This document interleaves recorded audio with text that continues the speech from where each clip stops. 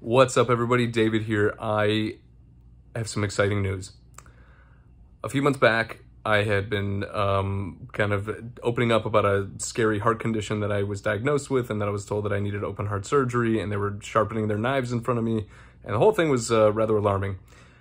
It was also at the time when the pandemic was ending. I didn't have work lined up as well as I could have in order to go get the stem cells. I did a GoFundMe and I went to Costa Rica and I got those stem cells and I'm forever grateful to everybody because I finally got a new heart scan done and they worked. I no longer need heart surgery. It could improve more, meaning I probably should go back and get more and I need to keep up the new health regimen that I'm on, but they worked. And I don't need heart surgery anymore. And I am ecstatic about that. And I want to thank everybody who helped me, who've been supportive, everybody. And it's been a lot of people, almost 100 people that I can count who directly were trying to participate in my health.